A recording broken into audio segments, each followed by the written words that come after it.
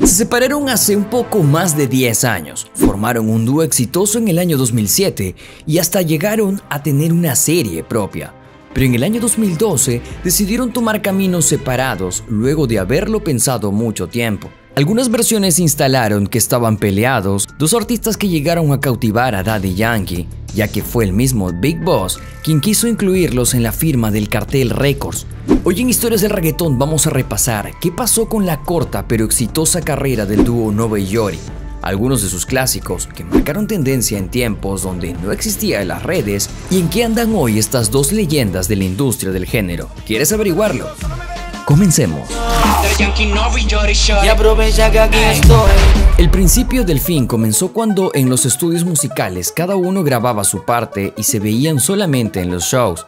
Para Yori era como un matrimonio que había cumplido un ciclo donde el fuego de la pasión se había apagado. Por eso mismo, estos artistas decidieron darse un tiempo por aquel entonces. De común acuerdo y en muy buenos términos, creyeron que la mejor manera sería que cada uno continúe su camino por separado. Lo anunciaron públicamente y así fue como se separó el dúo Nova y Yori. Pero ¿puede una historia de amigos, casi hermanos, terminar de esa manera? Posiblemente un interrogante que nos hagamos a menudo es ¿qué pasó en el medio de estos dos artistas que tenían un futuro prometedor? Acababan de sacar un tema con Daddy Yankee y al poco tiempo vino la disolución de la banda. La historia de Nova y Yori dio comienzo de una manera muy pero muy particular. A diferencia de Yori, Nova llegó a formar su propio estudio en el estado de Filadelfia llamado Black Jack Studio. Ambos cantantes pasaron momentos lindos y amargos en sus vivencias personales hasta que en el año 2003 se presentó la oportunidad de ambos conocerse por obra del destino, ya que todos en los suburbios comentaban que ambos eran los mejores exponentes de la ciudad de Filadelfia. Se conocieron y desarrollaron una profunda y sincera amistad porque se identificaban por los sufrimientos y escollos que habían vivido. En ese momento, tanto Yori como Nova decidieron grabar un tema juntos, el cual contó con un masivo apoyo de parte de la comunidad latina en el estado de Filadelfia. Tanta pero tanta fue la conmoción que la gente y los amigos le pedían a gritos la unión permanente como dúo. Y hoy en Historias del Reggaetón te vamos a contar la verdadera historia detrás del seudónimo implantado por los fanáticos mejor conocidos como las dos nuevas amenazas, cuyos integrantes serían Fernando González, mejor conocido como Nova, y Fernando Luis Sierra Benítez, mejor conocido como Yori Boy. El debut oficial de Nova Yori fue para el año 2007 con la canción Por Encima, la cual se hizo conocida en Puerto Rico y gracias al éxito local que supieron cosechar, lograron grabar su primer mixtape titulado Por Encima, el disco que mencionamos anteriormente llegó a estar conformado por 20 canciones y múltiples colaboraciones como con Coscuyuela o el dúo Yaga y Maki.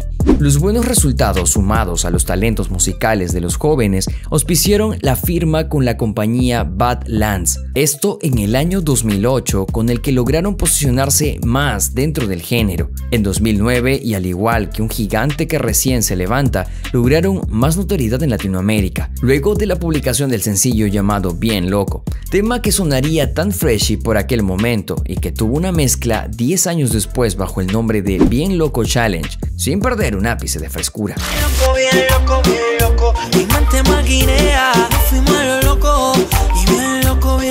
En 2010 participaron en diferentes colaboraciones como Matador Remix o El Mal Me Persigue, además de lanzar sencillos como La Noche Perfecta o un poco más, los cuales ayudaron en la promoción de su primer material físico. Díganme quién no ha escuchado Matador con Yengo Flow.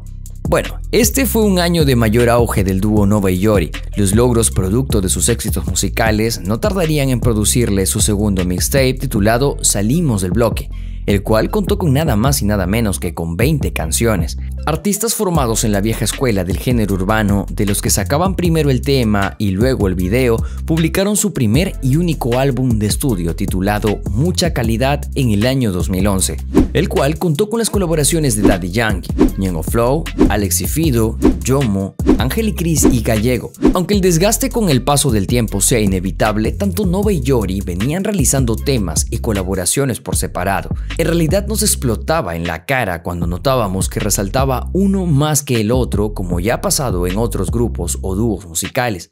Y es precisamente por esto lo que ha generado pequeñas diferencias y el enfoque de un crecimiento personal entre los artistas, quienes al día de hoy siguen muy asombrados por los miles de fanáticos y seguidores que tienen.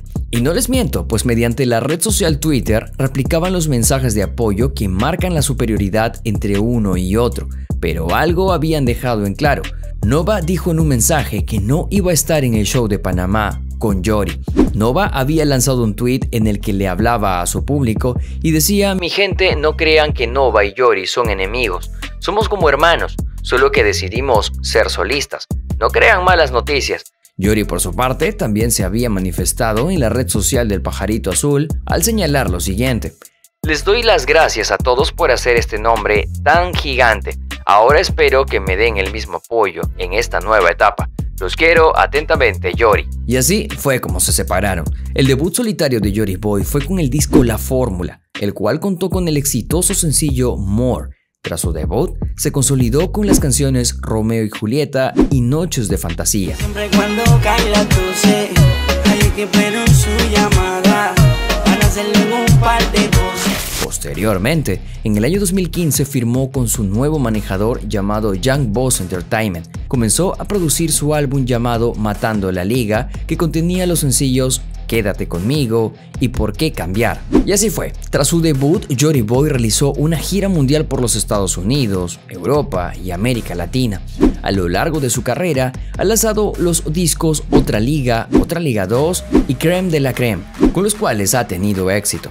Yuri es un exponente de género urbano que ha logrado consolidarse en la música con sus canciones, de las cuales algunas son medianamente exitosas. Sin embargo, posee un talento como intérprete muy pero muy grande. Influenciado por Daddy Yankee, quien le puso el mote de El Chicle Jory Boy, llevó cerca de 13 años trabajando en su último álbum denominado Bubblegum. Asimismo, Yori contó que a él nunca le interesó trascender y elevar su nivel al del calibre del Big Boss, sino que sus pretensiones eran más terrenales como poder pagar el alquiler de una casa, tener un carro y poder realizar las comidas diarias. Nunca se ha enseguecido por los flashes del espectáculo y nunca le gustó ser ídolo de nadie. Con el simple reconocimiento obtenido, él sintió que su obra artística dejó una huella en el mundo. A diferencia de los grandes artistas, Yuri prefiere poder salir a pasear tranquilo e ir a disfrutar de una buena película. Por otro lado, la carrera solista de Nova, tras su separación de Yori y ante la ola de comentarios poco alentadores respecto a su futuro artístico, fue acompañada de la decisión de nombrar su único disco El Subestimado, álbum que vio la luz en el año 2016. El concepto artístico del disco estaba dado como una forma de demostrar ante el público que podía superar las expectativas de su trabajo. Dicha producción discográfica presentaba a un Nova totalmente metido de lleno en la música y ofrecía al público y a sus fans mucha pero mucha versatilidad. Con ese único álbum y unos cuantos sencillos en su historial, recientemente Nova, La Amenaza, acaba de lanzar un sencillo llamado Delincuente con DJ Setian. Aunque haya pasado nueve años de la última vez que se habían mirado a la cara para hablarse, cualquiera pensaría que recomponer una relación de tantos años de amistad cuando compartían hasta el mismo techo sea un poco difícil.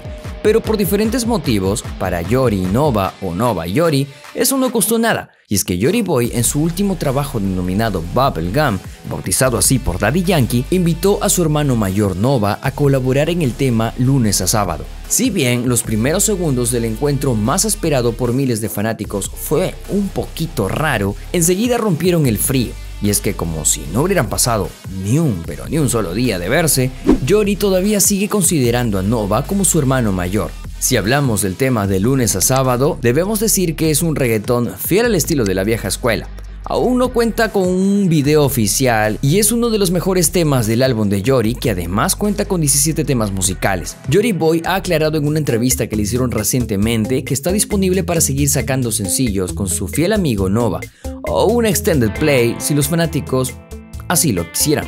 Parte final.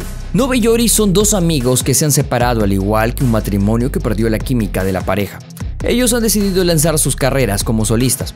Si bien nunca buscaron la fama que tienen los grandes artistas, ni le vendieron el alma al diablo para llenar estadios, prefiere disfrutar de los placeres mundanos como cualquier hijo de vecino, aunque no esté descartado que hayan nuevas colaboraciones entre ellos.